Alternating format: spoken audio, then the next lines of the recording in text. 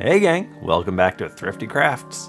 I was reading One Piece like I do, and I ran into Oda's wonderful color spreads. Every few issues, he'll do one of these completely random color spreads. The crew is usually in some strange situation, and they're full of these joyful details that I just can't get enough of. So I decided to make one of these things. Well, specifically, Tony Tony Chopper in a tank. So I made a little armature, I bulked out that armature with some aluminum foil to save on clay, which I am now adding a thin layer of. And that is called ending a sentence with a preposition. I come from a mostly drawing background, so I kind of like to sketch the face on to get the scale right. Now I'm adding the bill to uh, this iconic hat, I guess. It should be noted that if you aren't up on One Piece lore, that Chopper is actually a reindeer that ate the human human fruit. So basically, he's still a reindeer, but has the magical power of being a human.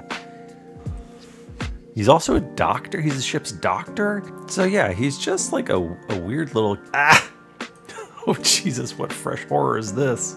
Anyway, yeah, just a normal animal that ate a devil fruit. In sculpting, this is called mushing the face together. Next, I pop on Chopper's adorable blue nose.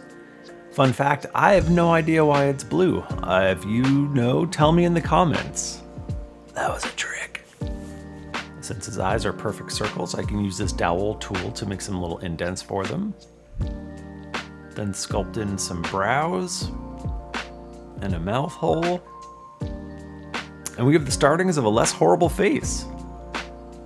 But we still need some more details. Chopper has lips, right? I'm giving Chopper lips. One of my favorite bits about the original drawing is how he's eating onigiri and has just like this massive mouthful of rice. So I'm putting these big old cheeks on him. Now for Chopper's insignia. I add another layer of clay and smooth it out and shape it. Then I decided to dig out the X emblem. So I also didn't know why Chopper has an X on his hat, but I doubted I could trick you into commenting twice, so I looked it up. Apparently it's uh, it's the medical cross, it's just tilted. Not sure if these are technically ear flaps, but I'm calling them ear flaps. This helmet's got ear flaps. And while I was at it, I thought I'd add the ears. Yep, it's starting to look like something. Time to give it a quick bake to save my progress. Now it's time to bulk out the body with some more foil, and then cover that with clay. A little rope of clay quickly becomes the collar of a t-shirt. I used a pasta machine to make super thin sheets of cosclay, which I'm using to make the shirt. Cosclay is really great for stuff like this since it stays flexible after you bake it. I could do the same thing with Sculpey, but I'd have to be okay with it snapping off in a light breeze. Shaping little collars is super satisfying. If I'm being honest, adding clothes and fabrics to things is kind of like one of my favorite things to do in sculpting. Chopper gets his first arm. It's short enough and anchored at both ends, so I think I can get away with skipping armature for this one. I can't forget Chopper's hooves. Remember, he's a reindeer to add in a sleeve and some wrinkles. It was fun. Let's add some wrinkles to the shirt. Hey, he's got a shirt. Using a power tool to drill this tiny hole for armature is a lot, but it's fun. A little liquid Sculpey will act as glue for this arm armature. And then we just need to bend his arm into onigiri munching position and bulk it up with some more clay. Alright, to make onigiri, you want to shape your rice into a triangle. Then cut up some nori and wrap it around the rice. And then cut a big chomp out of it. Now here's where the recipe gets weird. You're gonna want to attach your reindeer hoof directly to the rice ball. I know it seems wrong, but trust me, it's easier this way. And then just squash that whole mess on your arm and Bob's your uncle. Now we get to add in some fun details with the sleeves. I'm gonna go ahead and add a bunch more fabric wrinkles as well. Now we have a shirt and two arms. Time to add the bandolier? God, I hope that's what it's called. Then I get out every sharp, pokey item I pretty much own to cut out these bullets because there's a thousand of them. Some good bullets. Now I really could have done this additional shirt work before the bandolier, but I would have had to bake the whole thing again if there was any chance of me not squashing all that work. And you know, it would have been fine to bake it again, but I just didn't feel like stopping. And we finished it off with a little rope of clay that'll become the bottom of his t-shirt. Here's another close-up. Chopper is nearly done. After another bake, I'm back at it with the power tools. Those holes are for antlers, of course. I just add a layer of clay to the armature and we're pretty much there. Time to build the tank. Don't really know what I'm doing, so I'll just go ahead and do the armature, foil, and wire move. You know, if it works, it works. And we have achieved Forbidden Donut. Oda knows that if you want to make something look all metal and industrial and stuff, you gotta slap some metal plating on it. Now I'm digging out a little hole for the gun barrel. Can't see the whole tank in the drawing, so I gotta invent some stuff. I'm thinking a really simple hinge will do the trick. For the rest of the body, I thought XPS foam would be the thriftiest option. So I'm sketching the body out on some one inch foam, then a utility knife, and then an X-Acto blade. And I vaguely, well, it doesn't really look like a tank yet, but we're getting there. Then I'm just cleaning up the edges and shaping the treads a bit. This is a weird choice, but it ended up working. Uh, there are probably four or five better ways to make the covers for the tank treads than shaping them out of floppy clay, but hey, it worked in the end. I had some dowel, which was the perfect size for the gun barrel. So I cut it down and added some additional bits of clay to make it all tanky. Now you do want to use hardwood if you're going to bake it in the oven. At least that's what I heard Adam from north of the border say. And I'm making sure to have a good bit of overhang so that it will look a little more like a hollow tube. So if it's going to fit the body properly, I need to add a little bit more to the turret. So I made a big rope of clay and stuck it on. The shape of this thing reminds me of one of my favorite Star Wars toys from when I was a little kid. And holy shit, I just found the craziest picture. This Hoth turret looks like Squidward. Okay, I'm sorry. Uh, I got distracted. What's what's happening? It looks like I'm making tank treads, and, and oh look, they appear as if by magic. You note how when the body stays perfectly still, it's as if the tread appears out of thin air. Truly, truly a masterful illusion one more bit on the bottom here and we have a perfect fit. So the drawing has some fun additional details that I wanted to include. So I made this ridge out of foam and I have a bunch of these horrendous dollar store pencils. They just don't work. So I've been breaking them down for spare parts. These tips can become little headlights. It's cute. And there are these ridges, I can just kind of cut them in. For the tread wheel, I don't, I don't speak tank. Um, I had a bunch of cheap little plastic gears from Michaels that they were just perfect. It is starting to look like a tank, but if we had some rivets, oh boy.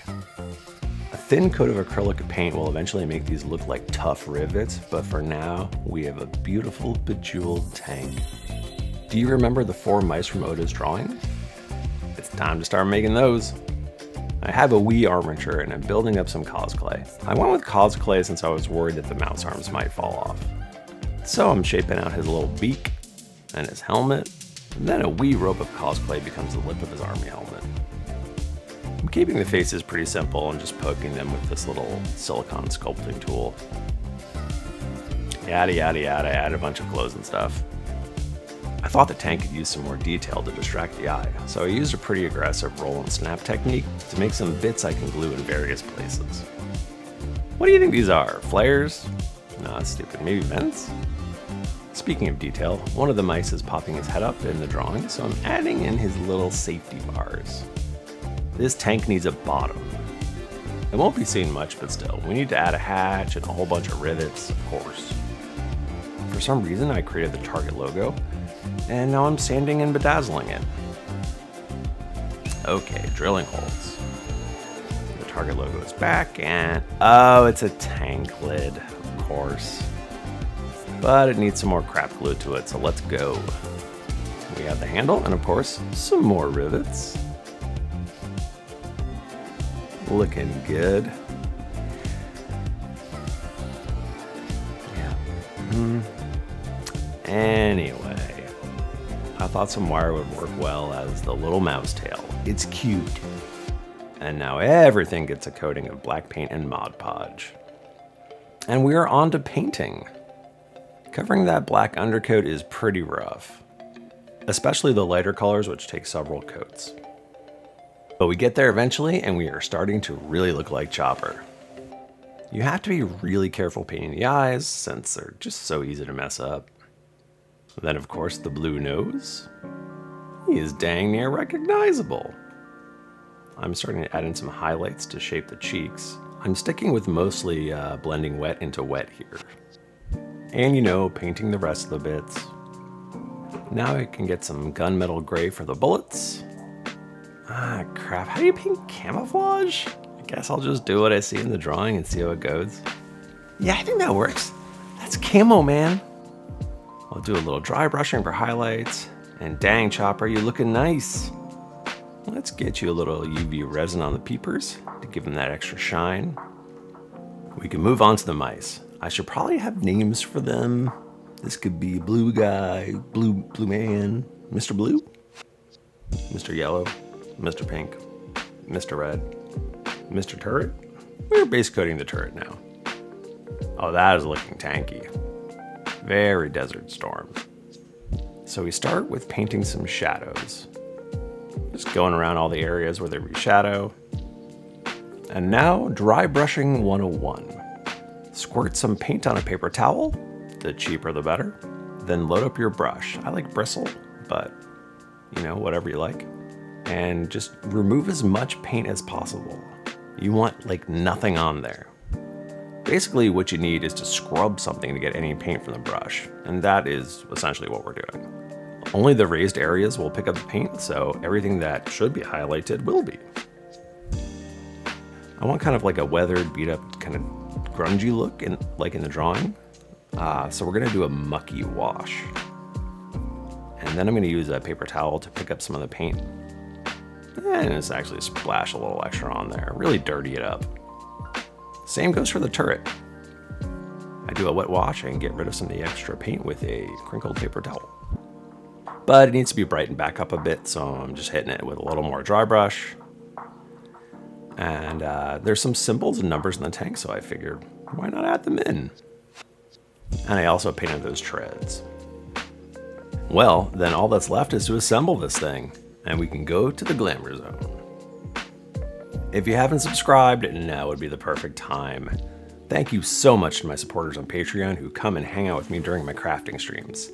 Special shout out to folks in the Raws and Above tiers on Patreon. Daniel Martin Garcia, Mr. Edward the Sparkly Vampire Horse That Talks, YK Lee, That Johnny Guy, Andrew Merchant, and Jeff Ward. Every one of those folks is an angel, and if you would like to join them, you can do so at patreon.com slash thriftycrafts. If you want to see more videos, well, hit that subscribe button because I have more in the works.